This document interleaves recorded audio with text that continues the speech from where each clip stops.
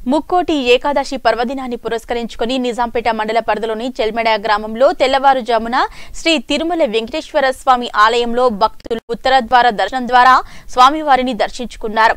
ముక్కోటి ఏకాదశి పర్వదినం సందర్భంగా ఎంపీపీ సిద్దిరాములు స్వామివారికి ప్రత్యేక పూజలు నిర్వహించారు. అనంతరం పురోహితులు సంతోష్ శర్మ మండల ఎంపీపీ సిద్దిరాములు మాట్లాడుతూ చల్మడ గ్రామంలో వెలిసిన శ్రీ తిరుమల స్వామివారికి వైకుంఠ ఏకాదశి అంగరంగ వైభవంగా నిర్వహించామని స్వామివారికి అభిషేకాలు మరియు స్వామివారికి ఉత్తర ద్వార దర్శనం కల్పించడం జరిగిందని తెలిపారు.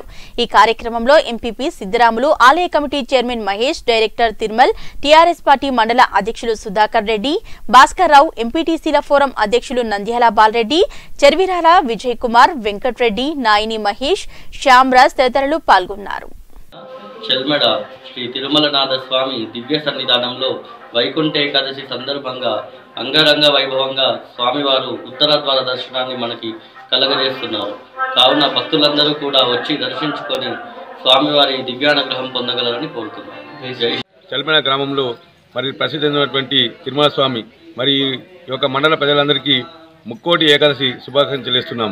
మరి యొక్క తిరుమలస్వామి దర్శించుకున్నట్టయితే మరి ఈరోజు మరి ఈ యొక్క ఉత్తర ద్వారం తెరవడం ద్వారా మరి ముక్కోటి దేవతలు ప్రత్యక్ష మరి ప్రజలకు కోరిన కోరికలు నెరవేర్చే విధంగా ఆ స్వామివారు ఎల్లవేళ ప్రజలందరినీ మండల ప్రజలందరినీ ఆస్వాదించి అన్ని విధాలుగా సహాయ సహకారాలు ఇస్తున్నాడు కాబట్టి ఆ స్వామిని మనం దర్శించుకున్నట్లయితే ఆయన ఆరోగ్యాలు ఐష్టైశ్వర్యాలు ధనధాన్య కీర్తి పెసలు ఆ స్వామి ఎల్లవేళలు మనకు తోడుంటారని నేను మండల ప్రజలకు తెలుస్తున్నాను. అదేవిధంగా ఈరోజు మా గౌరవ ఎమ్మెల్యే పద్మా దేవేందర్ రెడ్డి గారికి మరి కరోనా రావడం వలన మరి ఈరోజు మీ యొక్క ముక్కోటి గది సందర్భంగా ఈ యొక్క తెలంగాణ తిరుమలస్వామి దేవస్థానంలో మరి తొందరగా కోలుకోవాలని మరి పూజలు నిర్మించడం జరిగింది. మరి ఆ యొక్క మేడం తొందరగా కోలుకొని మరి ప్రజలకు మన అనేక విధంగా అభివృద్ధి కార్యక్రమంలో పాల్గొనసిందిగా కోరుతున్నాం